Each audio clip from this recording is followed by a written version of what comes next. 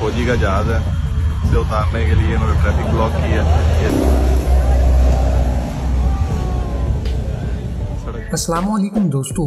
दोस्तों, पाकिस्तान एयरफोर्स ने अपना जहाज़ एक मेन रोड पर उतार दिया, जिसकी वीडियो सोशल मीडिया पर काफ़ी तेज़ी से वायरल हो रही है। दोस्तों, ये वीडियो देखने के बाद आप लोगों ने अपनी राय का इजहार कमेंट्स बॉक्स में लाजमी करना है।